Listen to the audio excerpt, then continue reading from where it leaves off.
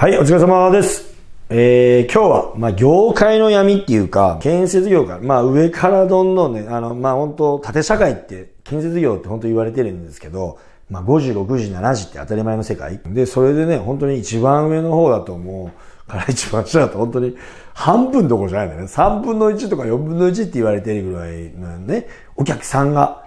ね、お客さんが100万出しても一番下までいったら25万しかなんないって。そんな、あの、3分の1だったら30万が。それ受け置いてるんでね、工事が。その、従業員の給料云々でやったらもっと下がってくると思うんですけど、そういう業界、業、業界体質。なんでって言ったら工事がね、何億円、何十億円。まあ民間だったらそんなことはほとんどないと思うんですけど、そういう話をちょっとしようかなって。まあなかなかね、この話聞けないと思うんですよ。なんでって言ったらやっぱ元請けさんがおったらね、こんな話絶対できないじゃないですか。今 YouTube 結構あの建設業界やってる人増えてきて、あの動画喋ってるけど、結局まあうちはもう本当に90%、100%に近いほどもう民間やってて、まあもちろん下請けで今ちょっと一部取引させてもらってるとかなんですけど、もうほとんどそんなことする人いないけど、まあ建設業界自体そういう会社多いし、まあもともと下請けから会社成長させてって民間行ってる人ってもうこれ絶対言えないと思うのはあるから、もうみんな絶対にあるから。もう悪いとも思ってない。みんな別に別にね、それは裏金だとかなんだって。もちろんそれはちょっと後で話するんですけど、下手したら末端と、その元請けさんというよりも施主さんだよね。と、一番下、職人さんまでに、お金がどんどんまあ間に入ってくると、まあ7個も8個も噛んでるとかっていうのもあるんですよ。もう全然当たり前にあるわけ。で、職人さんまで入れるともっと下がっていくって、まああるような業界で、あの、結局、労働主役型じゃないですか。あの、人が足りてないと何ともならんような業界だから、結局、まあそういう構造になってっちゃうかなって思うんですけど、まあ後でその辺はちょっと詳しく言うんですけど、ね、今、こうやって、まあ職人さん、今働いてる職人さんっていくらぐらいもらってるかわかんないけど、なんかコメントではね、なんか6000円とか7000円って書いてあるとかもおるけど、まあまあ、まあ1万円だとするね。1万円でも少ないと思うんだけど、まあ一人前の職人さんだったらね、まあ1万5千から2万円ぐらい従業員だったらもらえるのかな？社会保障があって、ボーナスまであるんかはちょっと俺わからんけど、交通費とかちょっとついても、まあ2万円だと結構、まあ全国的に見たらどうなのかわからない。まあ愛知県だとね、ちょっと、ね、それぐらいかなっていうところで、他の県になるとちょっとどうなのかなとは思うんですけど、これってさ、じゃあ、職人さんにそれぐらいにまあ手残りがね、働いてる子たちにあると思うんですけど、じゃあさ、まあ実質じゃあ俺もじゃあ給料1万5千円あろうと思うと20日間出ると30万円、25日出るとまあ40万円近くなるわけじゃないですか。ただ社会保険とか入れるとさ、まあ、結構な値段になると思うんですけど、今さ、でもさ、もう50、60とか末端の人間になると社会保険入ってないとか、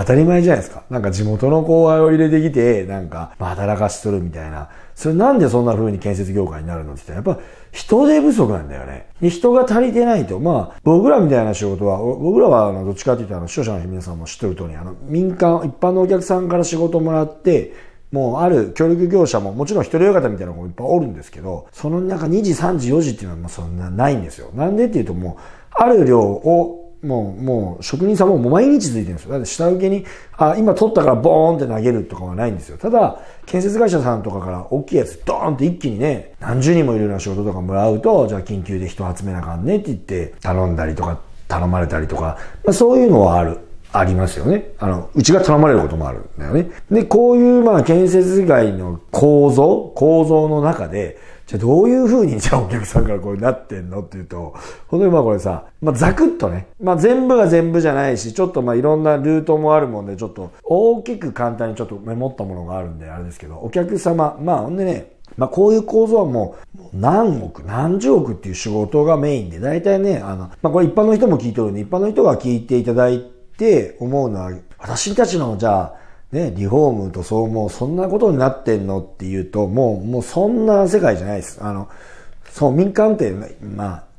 下げ合いっていうか、まあね、ちっちゃい子だてって、まあ、みんなね、誰でもやれるって言ったら失礼ですけど、あの、こうやって、まあうちみたいなね、大規模で、大きいところと、まあ、個人さんでやって、ちっちゃなところもやってるから、まあ、値段ってそんなに上がってないけど、本当にね、もうゼネコンとかって、本当にまあ、もう最初に答えみたいな、もうこれ流れで答えになっちゃうんですけど、後で言うつもりだったんですけど、もう金額って本当にもうべらぼうなんですよ、値段が。本当にこんな値段でやってんの？俺はあんまりそっち強くないから、まあ最近ね、いろいろやって、そんなに、じゃあ大きい、めちゃくちゃ大きいところからドーンと回ってゼネコンさんの値金になってっていうわけでもないから、そんなに俺はその実感はしてないけど、やっぱ周りの経営者、10億、20億、30億やってるぐらいの経営者とか、建設会社でやってる人たちとか聞いてると、マジっすか？みたいな。そんな値段で仕事やってんすか？っていう世界。でもそこに、そこで元請けじゃないでね、行って。まだ1個噛んでるとか、2個か、まあ、2個ってはないだろうけど、まあ、スーパーゼネコンがあって、あまあ、流れようか。まずお客さんがおって、ゼネコンって、まあ、スーパーゼネコンクラスとか、まあね、サブコンって言われてるのとかまあ、ゼネコンでは元請けだよね。元請けっていうのは何って言ったら、まあ、全部やるよね。新築で言ったら、まあ、何十業種も全部やって、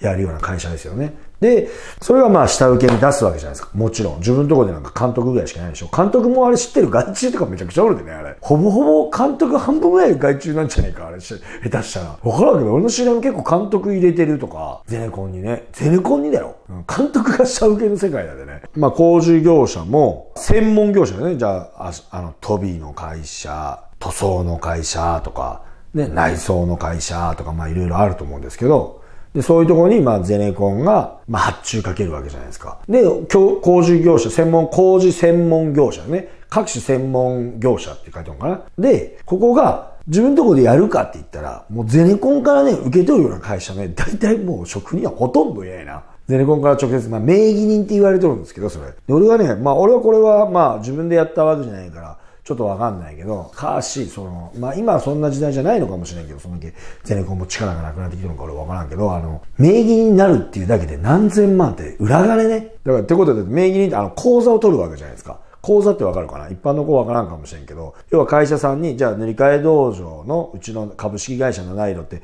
南施工は下請けなんですけど、この間ちょっと質問後で言っとくけど、株式会社七色、うちの会社ね、ね、乗り換え道場っていう屋号で、ね、株式会社七色っていうのがあって、南瀬港って下請けがあるんですけど、で、まあ、七色に直接入ってる人もおりゃ、南瀬港の下請けもおるんですけど、うちは。そのまあ、じゃあ七色の下請けにじゃあ、は、入るよ。まあ、俺がね、仕事頼みたいから、口座作ってくれって言って、要は振り込みするとかで口座もいるし、その関係性を作って契約書みたいなのがいるわけじゃないですか。まあ名簿もらったりとかいろんな書類関係があるわけじゃないですか。で、それを取るのに、まあもちろんうちの会社ってまあ俺が決めてとか、まあまあ今はもうほとんど俺が決めないけどスタッフだけど、だってまあ、あ、じゃあちょっとこれ書類とか用意してくださいっていうだけだけど、まあうちぐらいその会社だとそんなね、うちの仕事やるだけで裏金がいるっていうのはないんですけど、知ってるゼネコンとかそのね、まあその、その便利払ってくれた人に何千万って払うっていうのを、俺一人や二人じゃないよね。何人かに聞いたことあるけど、もうそれぐらいゼネコンの名義を取るっていうのは大変なんだよって。うん、だから、今でもそう。だってもうゼネコンがあって、ゼネコンの下に、そのね、あの、下請け、ね、直接取引しとる会社があるわけじゃないですか。ここがおるから、もう別に俺らがじゃあゼネコンに入りたいって言っても、ね、うちのが安く工事やりますよって言っても、こことここがもう関係ができてるから、もう絶対にそんなことは、もうほぼないんですよ。まあ、稀にあるかどうかは知らんけど、もう、じゃあ、俺らが安く工事やりますよなんて言って営業かけても、もう絶対に入れない。で、俺はじゃあ、どうやってじゃあそういうところに入っていくのじゃどっかの紹介だとか、まあ、もうね、スーパーゼネコンクラスじゃないけど、いろんなとこから取引いただくことがあるんですけど、なんかもう、うちが安いからじゃあ仕事やってっていうのはもうほとんどないな、多分。その知り合いとかの紹介でやってくれる。きちっと工事やれるの？じゃあ大丈夫。うちの決まってる単価でこれちゃんといい仕事できるんだろうね？みたいなところの方が、まあ多い。まあこれちょっと後でもうちょっとそこら辺のカラオケにも言うんですけど、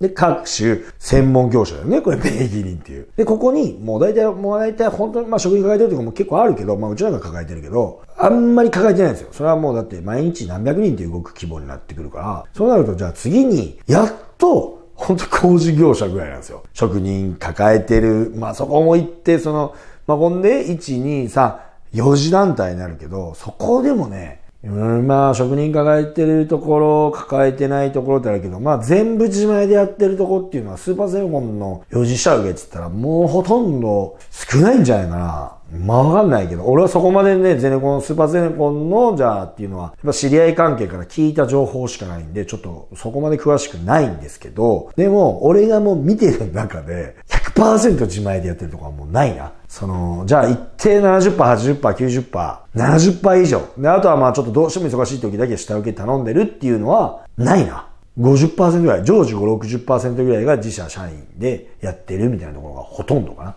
まあ、各種専門業者として、じゃあ工事業者っていうふうに今ね、したとして、じゃその下にするとしたら、まだこれはね、職人会社みたいなところが多いかな。あの、これちょっと建設業やってる人はまあもちろん分かってる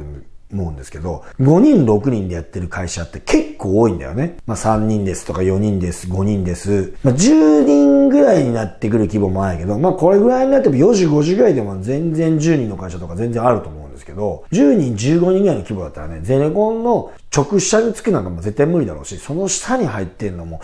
まあまあ、あるっちゃあるかな、見てると。うん、あるかな。でもまあ、5人とかだと、まあ結局、まあ発注もめんどくさいっていうのもあるし、まあ1人2人で入ってるとこもあるけど、各種専門業者ってね、仮にまあ名前つけたとして、まあこれだであれだよね、名義人だよね。で、工事業者だよね。まあそこも全部手配できんから。うん、まあほとんどね、職人会ともないな、下手したらな。で、そこの工事業者がまあ半分ぐらい今やってるって言ったと思うんですけど、じゃあその下にじゃあどういうとこついてるんだろうやっぱ3、4人とか4、5人とか、まあそれぐらいの規模のところがくっついてんですよ。で、まあもちろん一人のところもくっついてるんですけど、常駐でやってるみたいなね。半分職人、個人事業主として請求書は書いてるみたいな。うちもだよ、あの、半分ぐらいですよ自社職人って今歌ってるんですけど、もちろん自社職人っていうのは、じゃあ何って言ったら、まあほとんど、まあ今ちょっとね、協力業者みたいな感じで頼んだり、ちょっと切れたりっていうのは、塗装、メインの仕事以外はちょこっとあると思うんですけど、何何で言うのもう一人でずっとじゃあうちの専属だぞって言って、もうだって10年したわけで、社員よりも古いやつ。だって一番古株で、本当職人の方が古いやつの方が多いわよね。一番古い営業とか、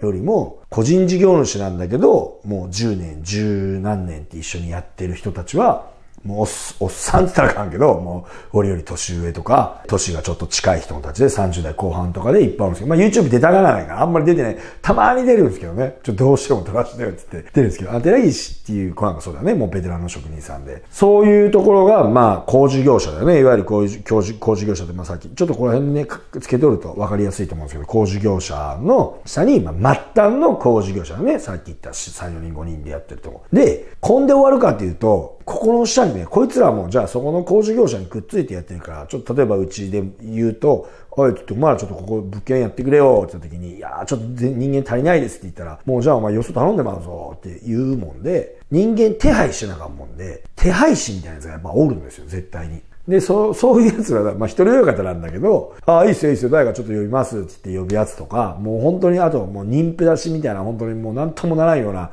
人材派遣会社みたいなとこだよね。ああいうところに発注かけるだとか、もうとにかくその数は集めれる、いろんな、まあ職種があるんですよ。で、そうやってきちっとした会社で人材派遣みたいなね、妊婦出しみたいなのちょっとある程度ね、保険も入ってるようなところだったらいいんですけど、このね、これね、本当に、まあ、これ建設業は特殊、特殊だと思うんですけど、なんかもう一定そのなんか、ね、僕らみたいなちょっと育ちが悪かった時代があるけど、そうやんちゃ系の子たちがやってることも多いから、なんか、もう本当になんか中学校のノリみたいな感じじゃないけど、まあ、22、3ぐらいで地元のやんちゃな子みたいな子たちが後輩とか集める力があるから、まあそういう子たちが後輩とか集めて3人4人集めて、ね、いくらもらえるから、お前らいくらで働けとか、そういう子たちって言うともう本当に、まあ1万円とか9000円とかで働いてるんだよね、多分。まあ本当にね、こうやって一つ言っただけでも、これもう、綺麗な形でこれだから、5時だった ?1、2、3、4、5、6だよね、これで。で、これで6段階でしょ。ちょっと、これ、ちょっと俺もパッと数えたらね、これま出てると思うんですけど、こうやって建設業界って本当にね、まあ、闇っていうことはないけど、じゃあ、上の方でね、どんな業界で出てるのっていうとね、本当に、何っていうと、元請けさん、ゼネコンとかね、もう究極、まあこういう言い方すると怒られるんかもしれんけど、値段なんか本当もう下げたくないんですよ、別に。うん、下がらんでいいんですよ。もう、別に その、